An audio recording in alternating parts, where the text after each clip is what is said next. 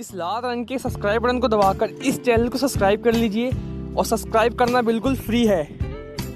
अगर आप सभी भोजपुरी दर्शक अपनी भाषा से प्यार करते हैं तो इस खबर को पूरा देखिएगा, अंत तक देखिएगा।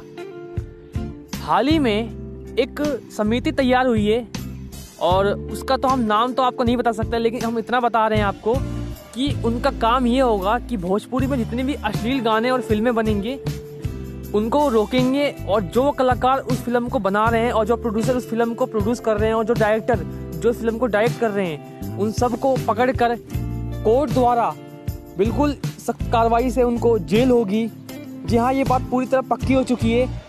बहुत बड़े बड़े लोग इसमें शामिल हो चुके हैं और भोजपुरी फ़िल्म के लिए ही ये समिति बनाई गई है। भोजपुरी फ़िल्मों में जितनी भी गंदगी है, चाहे वो एल्बम्स हो, चाहे वो फ़िल्में हो, वैसे आप सभी को पता है कि अब फ़िल्मों में तो एक सेंसर बोर्ड लग चुका है और कोई भी, जैसा कि दिनेश लाल निरहू जी ने भी कहा था कि भोजपुरी फ़िल्म में सेंसर जो है, जो सेंसर बोर्ड है, वो इतना सख्त है कि एक गाली तक पास नहीं कर सकता है। और वैसे भी आपको भी पता है कि भोजपुरी फ़िल्में अब इनमें सुधार हो रहा है और काफ़ी साफ़ सुथरा फ़िल्में बन रही है, चाहे वो दिनेश लाल निरहू की फ़िल्में हो, चाहे वो पवन सिंह की हो, चाहे वो खेसारी लाल की हो, अब वो धीरे धीरे विकास की ओर बढ़ रहे हैं और अच्छी अच्छी फ़िल्में साफ़ सुथरी पारिवारिक फ़िल्में अब आ रही हैं दर्शकों के बीच।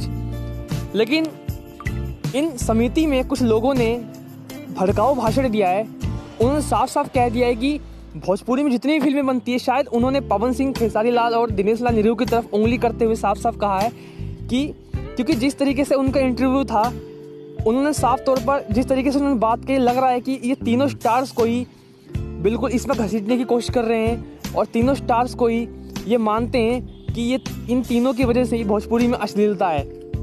और उन्होंने इस इंटरव्यू में कहा कि भोजपुरी फ़िल्मों में काफ़ी अश्लीलता है और कोई भी अगर गंदी फ़िल्में बनाएगा जिसमें गंदगी होगी, तुरंत उस कलाकार को जेल होगा और हमेशा के लिए भोजपुरी फ़िल्म में उसको नहीं मिलेगी और उसको हमेशा के लिए उसको बैन कर दिया जाएगा। आजीवन वो निबंध बंद रहेगा, कोई भी फ़िल्म उसको नहीं मिलेगी।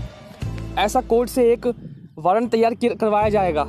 और समिति ने ये भी कहा है कि बहुत ही जल्द हम बिहार के मुख्यमंत्री, सीएम से, नीतीश कुमार जी से साथ हम मीटिंग करने वाले हैं और इस पर हम कार्य करने वाले हैं। अगले महीने ही इस पर काम शुरू कर दी जाएगी बहुत तेज़ी से हम काम करना शुरू करेंगे अपना।